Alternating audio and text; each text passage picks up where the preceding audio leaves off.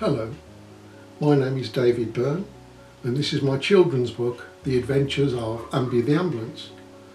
It follows Amby on one of his emergencies in where he helps a little girl who's fallen from her bicycle. The story has a first aid message and also a happy ending. On the back of the book is an emergency first aid chart which helps parents remember what to do in the event of an accident involving their child. My book also helps raise funds for a UK based ambulance charity. I must thank Maple Publishers for bringing my book to publication here in the UK and around the world. Thank you for your time. Take care.